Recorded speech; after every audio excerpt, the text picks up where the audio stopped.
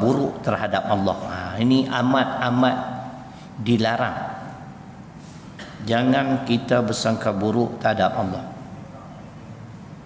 Kita kena yakin kalau mai perasaan sedemikian tu iblis lah tu. Dia mana mau tinggal kita? Hang ustaz dengan hang tok guru kan. Hang wakil rakyat dengan dia mai. Wala ughwiyannahum ajma'in illa ibadaka minhumul mukhlasin. Suratul Hijri surah 15 ayat 39 40.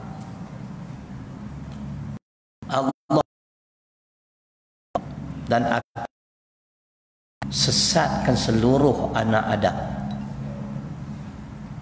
kecuali ha, anak Adam yang ikhlas ha? Yang ikhlas iblis memang tak boleh nak kelentong kita tak boleh nak rosakkan amalan-amalan kita. Tak kira siapa dia. Penceramah sensasi ke tok guru alim ke kalau tak ikhlas balik awal. Dapat kat iblis.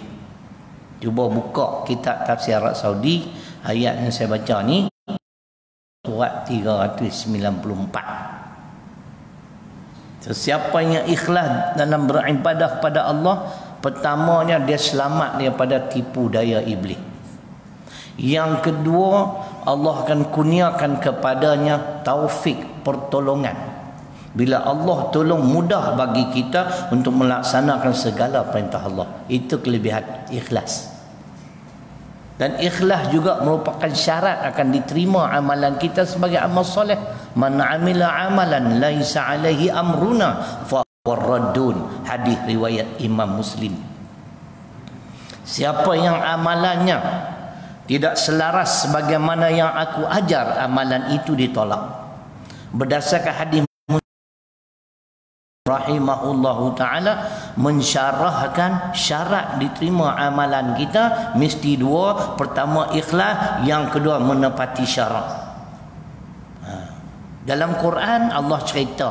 Yang dikatakan amal soleh itu ialah amal yang Allah redha kita yakin dan percaya Allah akan redha dengan amal-amal yang kita kerjakan selama mana ikhlas dan menepati syarak menepati tuntutan Al-Quran dan As-Sunnah. Wa an a'mala salihan tarda. Surah Namli surah ke-27 ayat 19 tu dalil yang kata amal soleh tu amal yang Allah redha ha, tak faham lagi apa panggil ustaz 10 tahun ha? tak Zul Nah, tahun ni genap 30 tahun ni. Kan? Aha. Pi uban tak ada lagi, steady lagi. Ni boleh pi lagi 30 tahun ni insya-Allah. Kan? Ha, tu dia cerita dia. Ha, malam ni An Jabir bin Abdullah Al-Ansari radhiyallahu anhu qala sami'tu Rasulullah sallallahu alaihi wasallam qabla mautihi bi thalathati ayyamin yaqulu la yamutanna ahadukum illa wa huwa yuhsinu dhanna billahi azza wa jal. Rawahu muslim. Daripada Jabir bin Abdullah al-Ansari radhiyallahu anhu berkata aku mendengar Rasulullah sallallahu alaihi wasallam bersabda tiga hari sebelum kewafatan baginda ha, sebelum Nabi wafat Nabi ada cerita benda ni. Nah, mungkin sebagai wasiat pesanan terakhir. Apa dia? Janganlah seseorang dari kamu mati melainkan dalam keadaan dia bersangka baik dengan Allah Azza wa Jalla. Jangan sangka buruk kat Tuhan. Sebab ada hadis lain yang sebut ana aku inda zanni abdi bi. Aku mengikut persangkaan hambaku. Kita sangka baik pada Allah insya-Allah kita akan dapat kebaikan. Sangka buruk buruklah. Ha. Nah kita tengok sikit. Setiap hamba yang beriman mestilah sentiasa bersangka baik dengan Allah Subhanahu wa taala. Berharap meminta bertawakal dan percaya dengan ketentuan Allah Subhanahu wa taala dalam semua keadaan sama ada senang ataupun susah. Ini sifat orang-orang beriman. Pertama, kita dianjurkan supaya senantiasa bersangka baik dengan Allah. Kemudian harap pun harap kat dia. Bukan kita bila kata macam tu kita tak boleh minta pertolongan manusia, itu ikhtiar. Ya? Ha. Tapi harapan kita pergantungan kita pada Allah. Ikhtiar kena ada. Lepas tu dia kata tawakal ha, kena bergantung. Setengah manusia ni tuan-tuan. Bila Allah uji dia dengan kesenangan hidup dia tak bergantung lagi dengan Allah. Dia jadi sombong. Ya, saya kemukakan dalam Quran ya. kalau tuan-tuan tengok dalam suratul lail Al-Lail ni surah dalam juzuk amma kalau boleh tutup ekor belakang ni tak? Sejuk. Tam-tam masjid empat canggih ek lah ni no. Dulu hangat lah tak kira dah. Lah sejuk pula dah. Ni nak buat baru pula. Fuh. Kemah hampa no. ha, ha, terima kasih. Cuba tengok dalam suratul lail. Kita kadang-kadang kita nak jawab di antaranya kepada puak-puak liberal lah. Siti Qasim tu di antaranya. Dia selalu sebut apa yang saya buat adalah antara saya dengan Allah. Tuan-tuan tak boleh menentukan sama ada saya ke syurga ataupun sebaliknya. Cabang, setuju tak cakap dia? Ha? Setuju no? Setuju betul. Tapi kita nak tanya dia lah. Baik. Itu kami tak nafi, cuma nak tanya you. You percaya tak dengan Quran? Saya yakin dia akan jawab Tok Bilal, saya percaya. Baik. Kalau you percaya dengan Quran, Quran dah bagi garis panduan. Jalan menuju syurga dan ke neraka dan sifat orang-orang yang akan dimasukkan ke dalam syurga pun Allah sebut sifat-sifat dia. Kalau ada kat kita syurga lah. Kalau tak ada agak-agak boleh masuk syurga. Tak zul. Contoh lah contoh saya nak kaitkan. Manusia ni kalau Allah uji dengan kesenangan pada Tuhan dia bergantung pada kekuatan yang ada pada dia. Wang ringgit, kedudukan, kuasa. Kan? Tuan-tuan selalu dengar ayat tu. Menuju ke syurga ada tiga. Ayat ni, Allah turunkan ayat ni dikaitkan dengan sifat Sayyidina Abu Bakar radhiyallahu anhu. Ayat bunyi macam mana Pak Ji? Fa amma ha, sebelum lupa nak tanya tu imam kita bila kita kena? Ha? Oh tu no ha. ingat-ingat saya 25 tahun lah. Ya? Ha. tu bila kita ni ikut kuliah saya. Ha. sakit? Sakit kan oh tu no fa amma man a'ta wattaqa wa saddaqa bil husna fasanuyassiruhu lil yusra ini ciri-ciri orang nak masuk syurga. Yang dikaitkan dengan sifat Sayyidina Abu Bakar ni ayat dia. Ha. Pergi buka kitab Asbabun Nuzul sebab-sebab turun ayat. Maka ada pun orang yang suka memberi. Ha. Infak menafkahkan sebahagian harta benda demi untuk kebaikan Islam dan umat Islam justru jangan kedekut Kenapa dia kait dengan Sayyidina Abu Bakar? Sebab Sayyidina Abu Bakar bila Nabi tanya dia, apa lagi yang ada pada engkau? Dia kata yang tinggal kepada aku Allah dan Rasul. Tu dia. Tanya pada Umar, nisfa mali, separuh lagi hartaku, aku masih ada. Kalah Sayyidina Umar. Sebab dia dekat dengan Sayyidina Abu Bakar, dermawan dengan Sayyidina Abu Bakar. Tu sifat ahli syurga. Dosa kedekut lah tuan-tuan. Tabung tu ha, duduk berjalan. Jangan duduk buat lena pula. Kan? Dan kali kita cari tabung boleh gerak orang. Agak 10 saat dia tak bagi. keluar tengah hui hui ha. kan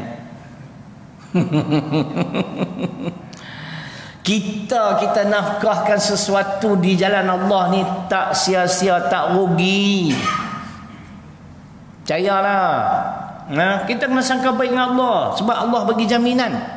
Dalam Quran ada dalam hadis pun ada. Dalam Quran min syai fa huwa yukhlifu wa huwa khairur raziqin. Surah Saba surah ke-34 ayat 39 dan apa sesuatu yang kamu belanjakan di jalan Allah Allah akan memberi ganti.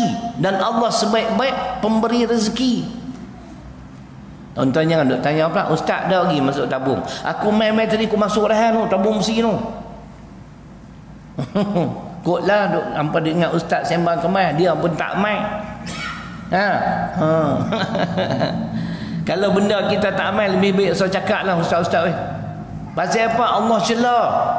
Ya ayyuhalladzina amanu lima taquluna ma la taf'alun. Kabura maqtan 'inda Allah an taqulu ma la taf'alun. Saf surah ke-61 ayat 2 dan 3. Ni jenis Allah cela orang pandai cakap tapi dia sendiri tak buat. So orang buat baik dia tak buat. Ya, insya-Allah saya sebut apa yang saya buat. Ya, walaupun tak banyak kita buat. Allah bagi jaminan kamu belanja di jalan aku, aku bagi ganti. Kita dengar hadis Bukhari pula. Setiap pagi rumah kita dimasuki oleh dua malaikat. Cuma kita tak nampak. Kalau nampak cikgu, jam kita. Malaikat yang pertama berdoa, Allahumma a'ti munfiqan khalafan. Ya Allah, kau berilah ganti terhadap apa yang dia belanja di jalan engkau. Tu, malaikat berdoa. Malaikat yang kedua Allahumma ati mumsikan talafan. Yang seorang lagi malaikat ini minta ya Allah kau binasakan harta tuan rumah yang kedekut ke hidung masih ni. Kalau dengar amal latih hmm, meneru orang derma. Sebab tu dalam Islam anjuran bersedekah ialah sedekah selepas subuh. Ni dah dalil. Ah. Sama ada tuan-tuan semayang di masjid kat surah di rumah selepas subuh sedekah walaupun seringgit, walaupun sekupang. Kalau di rumah kita beli tabung. Tak dulu. Boleh. Amal ni sedekah selepas subuh. Tak bengkerak kan. Kan? Itu Sayyidina Abu Bakar. Ada sahabat yang mana mereka merasakan mereka dah terlalu lama memperjuangkan agama Islam dan Nabi Depa tak mau turut serta ke medan perang. Wa anfiqu fi sabilillah. Wa la tulqu bi aydikum ila tahluka wa ahsinu. Innallaha yuhibbul muhsinin. Al-baqarah pada ayat 195 Tuhan sebut dan hendaklah kamu membelanjakan harta kamu di jalan Allah Jangan kamu mencampakkan diri kamu di dalam kebinasaan. Ah. Orang yang tak mau berjuang sama ada dengan nyawa atau dengan tenaga atau dengan harta, golongan ni cukup rugi. Nah. Infak ni, nafkah ni tak semesti duit ringgit. Kena tengok ayat lain At-Taghabun surah ke-64 ayat 16. Wa man yuqashuha nafsihi fa ulaika humul muflihun. Dan sesiapa yang tidak bakhil dengan dirinya, tak bakhil dengan nyawa dia. Kalau Islam minta berjuang, dia turun ke medan perang atau tidak bakhil dengan tenaga dia, dengan masa dia, dengan harta dia, mereka lah golongan yang beruntung. Ha. Nah, boleh. Kalau lah umat Islam ni Malaysia ni ada ada berapa belas juta? 18 juta kot. Sehari seringgit kalau aku siap lama dah. Ha. Kita tak salah harap kata 18 juta tu nak bagi separuh sudah. Tiap-tiap hari boleh buat bangunan. Dia tak? Tuan-tuan? Hak tak angguk tu jenis kedekutik tu masin tu. Ha. Tak apalah kalau orang nak kata riak pun terulang. Saya ni amal sedekah sejak tahun 1982 sampai hari ini dengan izin Allah. tahun 1982 ketika saya jumpa kelebihan sedekah dalam kitab Jawi kan bawa nama kitab tu tak ingat ha. sejak tu saya amal sampai hari ni kadang-kadang sedekah saya tu advance pula kod esok terlupa bagi saya siap untuk esok. Kadang-kadang saya bagi untuk sebulan. Niat. Kita amalan kita innamal a'malu niat tergantung pada niat. Ni untuk sebulan lah. Kod-kod lah. Tu Tuhan bagi tengok. Steady lagi. 66 abang berapa mak 69 janggut semua putih tu. Jaga sikit. 66 steady. Suara lantang. Bila nak pergi khutbah tu kita dah jadi kerajaan lah ni Depa kata daripada 129 kerusi. Siapa curi kerusi depa? Tinggal 109 lah. Kita pula 111. Satu sebelah tu seorang tu tak hadir, seorang tu timbalan speaker. Jadi dia tak boleh mundi lah. Faham tak? Hmm. Bagi saya bubar parlimen kita buat pilihan raya ke-15. Don't tak usah bubar. Negeri-negeri tak usah bubar. Kita concentrate fokus parlimen saja. Kita nak tengok siapa yang rakyat nak pilih. Tujuh tak tuan-tuan? Ha, tak buat dia pokok dia tu. Aku kira macam tu kan. Kan? Ha, tu cerita dia. Ha. Tengok depa ruyuh hendah tu macam budak-budak tadi ka. Deje dia bapak ni. Ha, tu kira perkataan elok kan deje tu. Kan? Hmm. Tembang kemas kita ada kerusi. Kerusi ini tak payah berebut. Pi kedai perabot beli seorang satu. Dia berebut apa? Anak-anak opal 10 beli 10.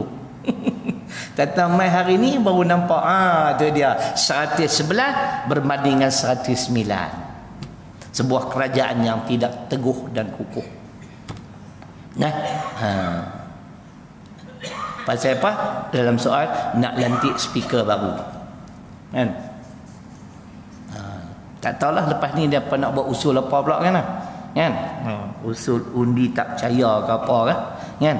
Tapi kalau berdasarkan 111 109 makna tepatlah pilihan yang di Pertuan Agong sebab yang di Pertuan Agong dalam perlembagaan persekutuan perkara 43.2 kurungan A yang di Pertuan Agong dia boleh pilih seorang ahli Dewan Rakyat yang pada pandangannya boleh mendapat sokongan ahli Dewan itu jadi dia dah buat temu duga, tanya-tanya kebanyakan setuju Muhyiddin Yassin. Jadi bagi kita sahlah kerajaan ni. Kan? Walaupun mereka awal 118 kan. Kan? Alhamdulillah 118 kan 117. Lah tinggal 111 kan. Ha. Tak apalah apa-apa kita serahkan depa, kita saja kena tunaikan tanggungjawab sebagai rakyat. Jangan tersilap langkah tuan-tuan. Saya ingin ulangi. Orang kafir ni macam mana pun tak boleh dipercayai. Walaupun yang berkawan dengan kita. Tetapi kita berkawan dengan kafir ni atas dasar kalau dia tak ganggu agama kita.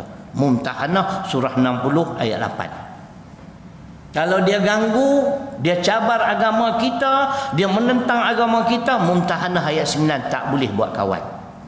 Kena faham lah. Dia kata tuk-tuk lebay ni pandai cari dalil no, nak pelepas diri.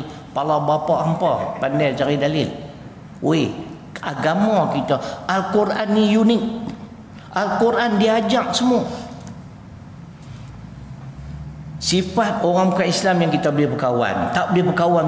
Bukan kita cari alasan, cari hujah nak berlepas diri dah. Wa nazzalna alaikal kitab tibyana likulli syai. Surah An-Nahl, surah ke-16 ayat 89. Ma farratna fil kitab min syai. Surah ke-6 Al-An'am ayat 38. Kedua-dua ayat ni habaq kat kita. Quran ni semua ada. Kita tak rajin baca Quran. Baca Quran tak tengok mana. Tu duk kata Tok Lebay. Rupanya Tok Lebay hebat je dalam parlimen hari ni. No? Jawab kau-kaunya. No? Ha, lawyer kenang lawyer baru syok. Kan? Ha, Menteri Undang-Undang jawab dekat apa Gobin Gobin apa Gobin Diosing. Kan? Kata terkedu dia. Kan? Eh, yang paling ingat Taqiyuddin tu Koman dia bekas magistrat no. Hakim di Kota Baru. Yang kedua saja nak abang nampak lah. Apa jangan duduk layak buruk ke dia. Dia guru tomoy tau. Ah, apa terapi tengok. Kau nak, nak, nak kena penajang. Tapi saya tengok dia badan tough. Saya boleh scan orang tadi jangan main-main. Tengok dia ni nampak kemas. Rupanya baru kita tahu guru tomoy. Takat abang apa latih. Hmm, dia kes macam tu ya. Tak payah dia aku pun boleh. Kai-kai aku jatuh. Jawab sempoi tu. Nah, ha, menteri apa yang uh, lagi seorang tu Atakiri Ustaz Khairuddin pun orang puji jawapan dia. Ustaz tu. Tapi saya tak heran dia memang terlibat lama dah dalam bidang perniagaan. Ha. Nah, Tok Saduk pelekeh lah Tok Tok lebaynya lah Macam hampa tu pandai Hampa memang pandai apa Pandai kencing Dia tak padi ha, Nasib baik ngangguk Tak mengangguk PH lalu Aku clear ha, Perikatan Nasional Kita baca ayat Quran Dalam suratul Anfal Surah ke-8 Ayat 73 Peringatan lah Tuan-tuan kena kempen. Jangan bagi orang kapiak kuasai kita. Kalau berlaku PR15 ni pilihlah perikatan nasional. Kan? Walladzina kafaru ba'duhum awliya'u ba'd illa taf'aluhu takun fitnatun fil ardi wa fasadun kabir. Suratul anfal surah ke-8 ayat 73 dan orang-orang kafir kata Allah sebahagian mereka adalah pelindung kepada sebahagian yang lain. Makna orang kafir ni abang saling bantu membantu tolong menolong. Sekiranya kamu orang Islam tidak berbuat sebagaimana mereka amal. Orang bukan Islam amal. Saling bantu membantu kita bercakaran sesama sendiri. Kamu akan berhadapan dengan fitnah dan kerosakan yang besar. Maksudnya ketika itu orang kafir akan menguasai orang Islam. Tuan-tuan tengok 22 bulan. Walaupun dia tak kuasai parlimen sepenuh 42 kerusi. Tapi siapa yang jadi kingmaker? Siapa yang membuat keputusan? Dia kucai, dia kacau tabung haji habis. Ha? Dia nak musnahkan ekonomi umat Islam. Nang buti nang kui buti kui. Faham tu? Ha. Nah? Ha. Haram jadah nak kapiak. Kan? Itu cerita dia. Nah? Ini pasal lama tak main takut empat karat.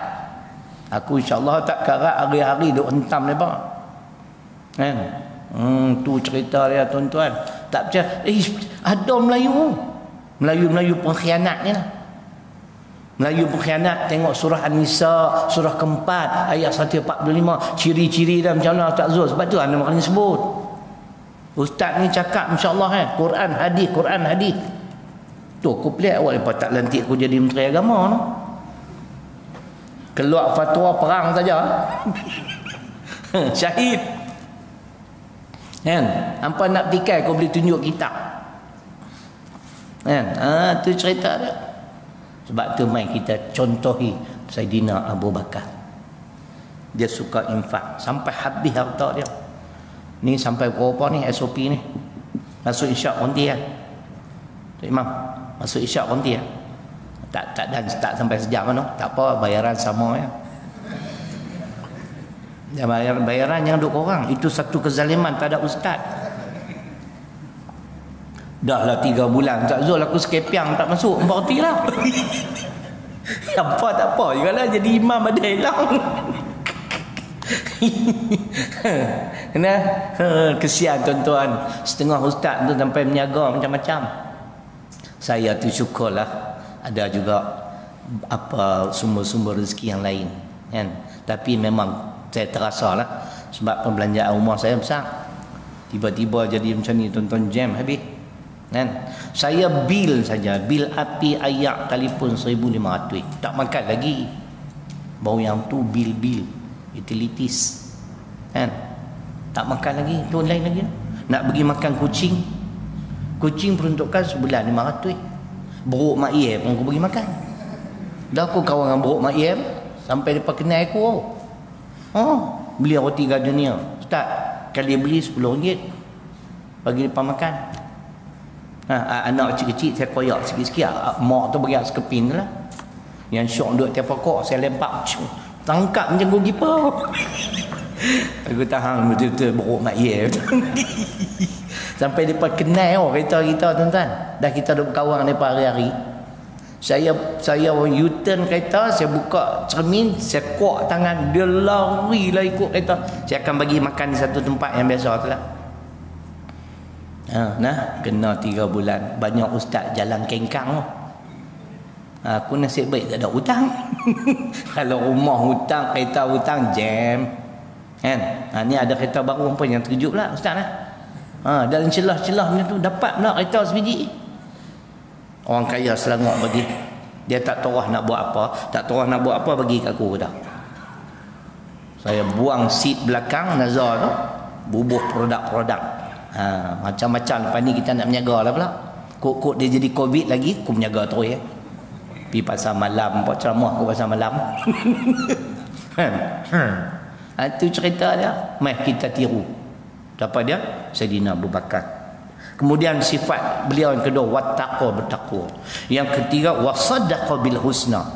Beliau membenarkan membenarkan Al-Quran, membenarkan sabda Nabi sallallahu alaihi wasallam. Fasanu yassiruhu lil yusra. Kita tanya Siti Qasim hang ada tak sifat-sifat? Bila Nabi beritahu aku mendapat wahyu supaya berhijrah ke Madinah, siapa yang akan menemani aku? Sayyidina Abu Bakar tak ragu. Aku Tu dia. Sampai Allah rakamkan kisah Sayyidina Abu Bakar menemani Nabi sallallahu alaihi wasallam dalam surah At-Taubah surah ke-9 ayat 40. Illa tansuruhu faqad nasarahu Allah id akhrajahu alladhina kafaru thaniyat naini id huma fil ghari ketika kedua-dua mereka di dalam gua. Ni Abu Bakar. Sebaliknya, kita nak abad kat Siti Kasim, hak nak masuk neraka ni pun ada juga sifat. Wa amma man bakhil. Pertama kedekut. Ha. Ada hadis ha, saya dengar Ustaz Syamsuri Haji Ahmad dalam keset saya ingat sampai lah. Al bakhil la yadkhul jannah. Orang kedekut tak akan masuk syurga. Ini ayat Quran. Wa amma man bakhil dan adapun orang yang bakhil Kemudian yang keduanya wastaghna. Ha, ini yang saya kata. Itu yang dia tak bertawakal pada Allah. Dia merasa diri dia serba cukup. Aku ada duit. Aku harta banyak. Melimpah ruah. Nah, aku ada kuasa. Aku nak bergantung kat siapa? Bergantung pada kebolehannya ada, ilmu yang ada. Itu syirik. Ingat, pergantungan selain pada Allah adalah pergantungan yang lemah. Mana dari Quran? Dia boleh bawa pada syirik dari Quran Al-Ankabut surah ke-29 ayat 41. Mathalul ladzina takhadu dinahum. Minta maaf. Mathalul ladzina takhadu min dunillahi awliya kama salil ankabus ittakhazat baita wa inna awhanal buyut la baitul ankabus law kanu ya'lamu tu dalil dia Waktu dia kata di sini orang beriman ni sikapnya dia bertawakal kepada Allah. Walaupun dia kaya raya, harta melimpah ruh, duit banyak, uh, tapi dia tetap bergantung pada Allah. Ha. Sebab apa? Pergantungan selain daripada Allah umpama labah-labah buat rumah dia. Tu ayat saya baca tu, rumah labah-labah lah. Rumah labah-labah mana kukuh. Kalau anak nyamuk bang, lalu tu bolehlah sangkut dekat dia punya apa? sarang tu. Tapi kalau cicak lalu pecahlah rumah dah. Dengan dia dia lari, cicak dalam terkedarah dia. Itu ha, Allah buat perumpamaan cukup hebat. Pergantungan selain pada Allah, pergantungan yang tidak teguh, tidak kukuh. Faham dek? Dek, hak jubah putih. Sebelum ni tak pernah tengok pun. Bawa balik dari mana? India ke apa? Ha. Aku kenal siapa yang ikut kuliah aku. Kan? Tu, ni dia ajak kita ni. Nah, kita duit banyak ke kuasa hebat ke jawatan tinggi ke harta melimpah ruah ke? Pergantungan kita bukan kepada benda tu semua lemah. Contoh ada orang kaya raya duit 100 juta ciak beliau abang latif. Tahu ciak beliau? Makan tak habis. Abang latif buka ciak makan tak cukup. Masuk ngaku lah tiga bulan tu. Eh, saya nak buat contoh dengan dalil Quran. Gelak-gelak juga. Kita cakap Quran hadis. Bukan cerai dengan kaki. Tu aku dah bila TV tiga suku nak panggil aku tau. Dah jadi kerajaan pun tak boleh keluar. Eh, pelang bapak ni. Kan? Nak tunggu sampai bila pun nak boleh keluar TV. Kita nak cakap tentang akidah ni. Nah, kita duk pulun ibadah-ibadah akidah tak tak tak tak, tak jaga. Adik, duit banyak pun ada masa Allah nak uji duit kesenangan itu tak memberi manfaat. Percaya adik? Percaya, percaya? Ha, bagi dari Quran. Hanya duk sembang kemai. Asy-Syu'ara surah ke-26 ayat 205 207. Afara'aita Afara'aita in matta'nahum sinin thumma ja'ahum ma kanu yu'adun ma ma aghna anhum ma kanu yumattaqu. Dia sangkut sat afa ra'aita? In matta'nahum sinin. Thumma ja'ahum ma kanu yu'adun. Ma aghna anhum ma kanu yumatta'un. Tu dalil dia. Cuba tuan-tuan tengok ada orang kaya sakit masuk ICU duit 1 juta dalam bilik ICU dia makan apa? Dia ada makan tom yam. Ada makan teh tarik. Nah, doktor bubuh ni ah, Kak Zul. Kan? Orang miskin pun macam tu ah kaya. Ha, itulah bukti duit bukan tempat pergantungan kita. Faham? Patutnya dia boleh bagi arahan pada doktor, saya jadi apa pun kat saya, tengah hari saya nak makan nasi berani. Hang korek bila macam mana pun. Hmm, doktor bagi ayat sejuk ya. Faham? Tu dalil. Jangan bergantung kepada kebolehan yang ada, ilmu pengetahuan yang kita miliki, harta yang melimpah roh. Ada masa ketika harta tidak memberi manfaat. Ini dalil dia. Tawakal hanya kepada Allah. Pak. Ha, lagi dia kata. Ya? Wa kadzdzaba bil husna dan mendustakan yang benar, yang baik meragui Al-Quran tak mau ikut hadis. Semua ni fasanu yassiruhu lil usra. Sifat-sifat seperti ini akan menjerumuskan seseorang itu ke dalam neraka. Nak masuk syurga ikut yang tiga pertama tadi. Suka infak. Nah yang keduanya ialah bertakwa yang ketiga membenarkan Al-Quran dan As-Sunnah. Dan kita kalau habak kat Siti Kasir bawa mudah ni tengok dia nak jawab ke mana cakap pandai. Ini di antara antara saya dengan Tuhan. Ustaz tak boleh nak tentukan. Memang saya tak tentukan. Yang ni ketentuan Allah. Allah bagi garis panduan. Ahli syurga wa hadainahun najdain. Al-balad ayat 10 aku jadikan dua jalan. Jalan kebaikan jalan keburukan. Hanya ikut mana? Inna hadainahu sabila imma syakira wa imma kafura. Surah al-insan surah ke-76 ayat 3 Jalan syukur, jalan kufur. Ha nak ikut yang mana? Allah dah bentang. Ha ikut jalan kufur. Takkan masuk syurga. Ingat pak hangnya syurga lah. Kata Kak Siti Kasim. Ha, dia janda. Siapa berkenan boleh buat permohonan. Aku jangan kata aku nak buat permohonan. Bagi free pun aku tak kelapar. Malatik macam kenan. tu kuliah aku. Empat era. Empat 20, ni 25 tahun dah tau di masjid ni. Jangan mijik sana. Lepas tu dah sembang kemas lah. ha, cerita dia. Ha? ha, ni. Dia ajak kita. Bertawakal dan percaya dengan ketentuan Allah Subhanahu Wa Taala memang cakap mudah. Tapi nak laksana belum tentu lagi. Kalau Allah takdirlah sesuatu yang buruk terhadap saya. Adakah saya boleh menerima? Itu yang kita bimbang. Nah, dengar ceramah kemah no. Uh, Quran prau prau prau. Allah uji cerai. Nauzubillah. Nah. Dan percaya dengan ketentuan Allah Subhanahu Wa Taala dalam semua keadaan sama ada senang ataupun susah. Sebab tu tuan-tuan, masa kita senang, masa kita susah, jangan lupakan Tuhan. Ni peringatan Allah fadhkuruni azkurkum.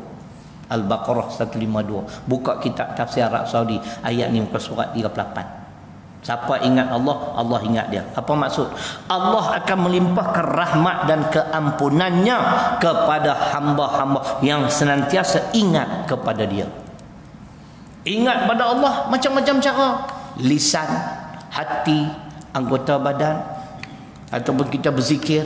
Allah, Allah, Allah. Boleh? Ha? Bida'ah.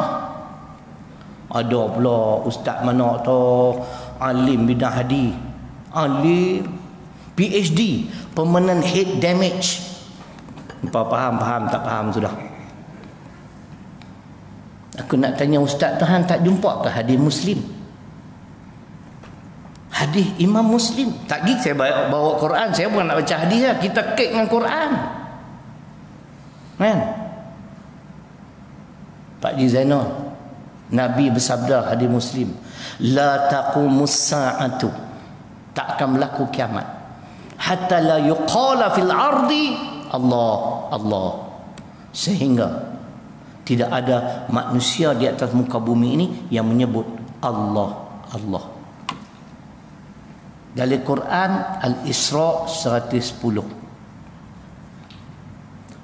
surah Al-Anfal ayat 45 wa dzakarullaha katsira la'allakum tuflihun dan ingatlah Allah banyak-banyak moga-moga kamu beruntung. Bilal Ar-Rabah ketika dia di uh, di di di apa? diseksa di tengah panat. Letak batu pula atas badan dia katanya. Dia sebut apa abang? Ahad, ahad, ahad. Salah ha? Qul huwallahu ahad. Allah tu ayat Quran tau. Alif lam lam ha. Ha. Awak dia kemas tengah mana? Siapa itiraf dia ulama hadis siapa itiraf dia umur pun tak sampai 40 lagi dah. Agak hebat lah nak pergi berdebat dengan Haji Hadi Awang. Siapa dia tahu kau tu? Tak apa kenal Hadi Awang Hang tu siapa nak pergi sembang bab politik hang tak mengaji bidang tu. Kan? Sebab tu tuan-tuan kita nak bagi satu tugas cuba tengok dah terbukti takat hari ni. Bila dia lantik Datuk Taqiyuddin sebagai menteri undang-undang. Tepat dia mengaji bidang tu. Kan?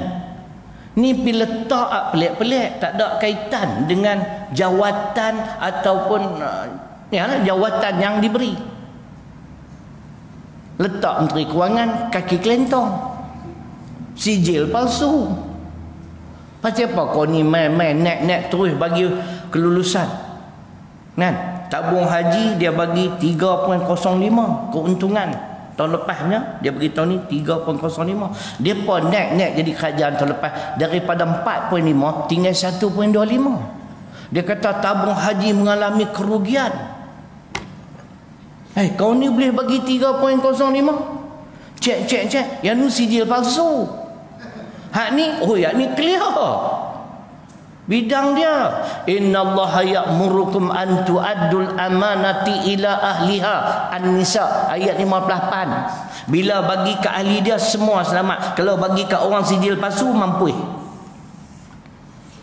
Nah, akhir Nabi sebut hancur dalam hadis riwayat Imam Bukhari idza wusidal amru ila ghairi ahlihi fantaziris sa'ah apabila sesuatu urusan itu tidak diserahkan kepada ahlinya maka tunggulah saat kehancuran. Duk cerita hutang negara satu trilion. Tiba-tiba perikatan nasional naik-naik boleh buat pelok peruntukan 250 bilion. Ish Ha, hampa nak pilih kerajaan mana hari ni? Hari ni Anwar Ibrahim tanya, macam mana boleh buat macam tu? Oh, PM jawab sempoi no. Dia kata saya dah duga soalan ni pasti akan ditanya. Takkan kita nak tunggu sedangkan kita menghadapi dengan musibah. Nah, rakyat hidup dalam kesusahan. Bisnes tak jalan. Mau tak mau, inilah tanggungjawab kerajaan. Nasib baik aku tak jadi wakil rakyat. Kau tak takbir zakat Dan aku aku lawan tahun dulu tapi bukanlah kalah, belum menang. Kawan saya tujuh tahun teriak dah. Cakap putih sedia saya. kami sekolah orang putih I do ingat you dah menang tau Sonoknya you boleh masuk parlimen Mesti kau-kau. Tak ada rezeki saya kata nah, Ramai yang kata Kalau Ustaz Syaril lu masuk syok Quran, hadis Perlembagaan persekutuan semua kat sini tuan-tuan Bukan saya nak sombong tau Semua kat sini Anugerah Allah kat saya Saya duduk tengok mereka semua Pakai duduk belek eh Kelebek kan Aku tak kelebek lah Kita ahli parlimen Pergi belajar benda tu boleh tak? Ha. Sebab tu satu ketika saya ceramah polis main. Polis main suruh saya berhenti. Saya lawan dengan perlembagaan persekutuan. Polis cium tangan aku balik awal. Bukan aku cium tangan dia apa? Ha. Saya tanya Datuk tahu tak undang-undang ni? Yang nak suruh saya, nak halang saya daripada bercakap. Dia senang. 10.1A di dalam perlembagaan persekutuan. Dia pula tak kerti apa. Aku kelentong pun dia percaya. Takkan aku nak kelentong aku reti.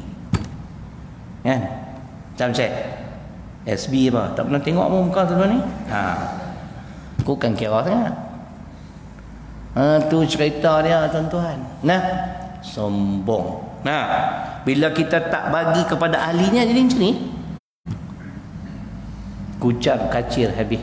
Bagi seratus ribu kat pasti Malaysia, bising Hak bising tu bercacai ya. Lah tuan-tuan, seratus ribu pasti di Malaysia ada berapa ribu? Tiga ribu lebih. Guru pasti di seluruh Malaysia ada berapa ribu? Dia pada dapat seorang lapan kupang lapan duit lah. Bagi sekolah Cina, sekolah missionary sampai berjuta-juta apa diam. Macam mula-mula lah. Budget Nah, oh baguslah Menteri Kewangan ni dia bagi peruntukan 50 juta pada sekolah-sekolah tahfiz. Sekolah tahfiz ada banyak mana? Seribu buah yang berdaftar. Dia bagi kepada sekolah Kristian 50 juta. Dia pada berapa? 400. Siapa makan kenyang? Habak ni. Malentip. Nah, kalau kata ada apa 10 biji roti kan hak nak makan pun 10 orang dapat seorang berapa sebiji kan kalau 10 biji roti ada 4 orang siapa makan kenyang hampa tak muji matematik kan sampai macam tu pun tak nak jawab tu kata puak-puak ni baru kan saya bukan saya angkuh kerana kita jadi kerajaan dari dulu saya cakap benda tu Kerajaan bukan nak selamat tuan-tuan. Saya ingat kat Perkataan Nasional selama saya dok buat kuliah duha dengan firman Allah dua. Allah sebut dalam Quran. Kalau hampa tak tunai perintah aku aku ganti hampa dengan orang lain. Wa in tatawallau yastabdil qauman ghairakum thumma la yakunu amsalakum. Tu ayat akan berlaku pergantian. Allah akan tukar. Kan? Walaupun kita tengok PM ni lain lah daripada PM-PM baca doa apa semua kemas dia. kan? Ha, nah, tapi kita harap-harap dia istiqamah lah. Nah, ha, buat sesuatu yang terbaik untuk Islam. Jangan menzalimi orang bukan Islam. Seratus ribu riuh hendak. Kadam-kadam apa tu? Kadam. Chief kadam. Bagi kat Kristian nampak sengak baru orang. Ha. Ingat Tuhan ketika senang maupun ketika susah Tuhan ingat kita fadhkuruni azkurukum. Dalam hadis ana ma'hu idza dzakarani. Ha. Aku bersama-sama kamu apabila kamu ingat kepada aku. Kita ingat Tuhan masa mana? Susah. Doa tu dia. Tiga bulan tu semua doa kuat. Main-main senang tak doa dah. Punya marah masjid tak bagi main semayam jemaah. Dah bagi mai tak mai. Tu aku nak kata sabulak tu. Kan? Ha, saya 13 minggu cikgu tak semain jemaat. Punya seronok lah. tak kena nak fikir nak macam aku tubuh cantik. minggu ke-14 saya pergi makan rian belah baling. Depa dengar ulama besar mai kan. Depa suruh pujuk lah ulama besar ni main baca khutbah. Terlupa dah cikgu eh kata Jumaat. Aku ingat ceramah politik. Pasal ketagih loh. Pulun lah itu. Bukan ramai pun ada 40 orang. Eh, lawak pula tu. Uh, dia lupa lah kata khutbah jemaat. Dia ingat ceramah. ya. Lepas tu, ha, tu lah dapat tu uh, bawa ni uh, minggu lepas di Kulim. Yang tu tazkirah saja. Lepas tak pergi baca khutbah. Kan? Lepas tu imam ada. Hmm, tak apalah. Hak mana bagi aku pulun kan. Kan? Uh. Tapi alhamdulillah ha? Hari saya buat tazkirah tu YB ada. Exco kajak dengan Kedah. Saya ucap tanya dia. Lepas tu saya abang kewajipan menunaikan amanah. Oh, Ustaz ni dia clearnya dia tak ada nak cerai-cerai kan. Cikgu ada tak itu? Awak tak pergi rakam. Aku sentai rapat cikgu kampung keladi. Ha? tu imam ya tak pergi baca khutbah. Kan? Nah, tak apalah. Bagi aku pulun. Tak ada lorak apa. Bukan baru tiga hari, tiga puluh tahun lah berdakwah. Nah, baik. Orang yang bersangka buruk, ke sembilan kita berhenti. Orang yang bersangka buruk dan putus harapan dari Allah SWT boleh menjerumuskan dirinya ke kancah kekufuran. Innahu la ya innahu la yai'asu min ruhillahi illa alqaumul kafirin. Sesungguhnya tidak berputus asa dari rahmat dan pertolongan Allah itu melainkan kaum yang kafir. Orang beriman jangan sesekali putus asa. Ha, kadang-kadang tuan-tuan kita minta saya pun ada. Saya dah minta puluhan tahun sampai hari ni tuan tak makbul tapi bila kita dah faham sikit ayat Quran dalam surah Al-Baqarah 216 Tuhan sebut. Ha, bila tengok ayat tu sejuk balik hati. Wa asa an takrahu syai'an wa huwa khairul lakum. Wa asa an tuhibbu syai'an wa huwa syarrul lakum. Wallahu ya'lamu wa antum la ta'lamun. Mungkin kamu membenci sesuatu padahal ianya baik bagi kamu. Mungkin kamu suka akan sesuatu padahal ianya buruk bagi kamu. Allah mengetahui sedangkan kamu tidak mengetahui. Bila baca ayat tu malah tiap sejuk hati. Kita minta dia tak putih asa. Tuhan tak bagi dia tahu. Kalau aku bagi hang mungkin rosak. Ya tak? Hmm, lepas tu saya pergi Mekah dah berapa kali, enam kali. Tak pernah minta kaya. Pasal tadi bila kaya dia rasa diri dia cukup dia sombong. Dia tak bergantung pada Allah. Ini manusia. Sebab tu Allah sebut walau basatallahu rizqa li'ibadi la baghaw fil ardi asyura ayat 27. Kalau aku kayakan para hamba-hambaku di atas muka bumi nescaya mereka melampaui batas jadi sombong. Cukuplah macam ni. Kaya pun nak, miskin pun nak. Tengah-tengah macam Najib kata wasatiyah. Ha, nah, a moderate Muslim sederhana, kan? Ha, itu cerita. Dan dalam, dalam ayat yang lain, "Qul ya ibadiyalladzina asrafu ala anfusihim la taqnatu min rahmatillah innallaha yaghfiru dzunuba jami'a." Innahu huwal ghafurur rahim katakanlah wahai Muhammad sallallahu alaihi wasallam wahai hamba-hambaku yang telah melampaui batas terhadap diri mereka sendiri dengan perbuatan-perbuatan maksiat janganlah kamu berputus asa dari rahmat Allah kerana sesungguhnya Allah mengampunkan segala dosa Sesungguhnya dialah dua yang maha pengampun lagi maha mengasihani. Kalau tuan-tuan baca ayat ni saja, hampa pakai ayat ni hampa jangan. Saya ingin tegaskan untuk mendapat keampunan Allah juga ada syarat walaupun dia bunyi macam ni. Syarat dia dalam surah Ali Imran ayat 89. Allah berfirman illa man taba wa amina. Itu ayat tu. illa man taba wa amila salihan. Betul? Illa man taba wa amila salihan. Ha, bukannya ayat apa Ustaz? Tengok Ustaz. Ali Imran 89. Ali Imran illa man taba wa amila. Wa amila solihat macam tak betul ayat tu. 89 Ali Imran. Illa kecuali yang yang bertaubat illa man taba betul wa amila solihan Ha illa allazina tabu. Ha tu yang tu ayat lain tu yang duk selaru illa allazina ha, betul no Ha? Illa alladhina tabu min ba'di dhalik wa aslahu fa inna allaha ghafurur rahim. Betul tak ha tu ayat tu sebenarnya. Illa alladhina tabu. Kecuali orang yang bertaubat. Kemudian setelah bertaubat. Mimba di zalik setelah dia bertaubat. Dia beramal dengan amal soleh. Illa alladhina tabu mimba di zalik wa aslahu. Dia amal. Ha, bukan lepas taubat bunduknya tu juga duk sengak warna apa tak buat lah judi dak arak dak semayang pun dak tak kena. Tu kalau baca ini yang pun duk tengok ini jam. Ini ada syarat Ali Imran 89. Taubat yang disusuli dengan amal-amal soleh fa innallaha ghafurur rahim maka sesungguhnya Allah itu Maha Pengampun lagi Maha Penyayang. Allah akan ampun insya-Allah. Nah, tapi syarat dua tadi. Ya, betapa Allah itu maha menyayangi dan mengasihi kita hingga jika kita melakukan maksiat serta engkar perintahnya Allah tetap membuka pintu pengampunan.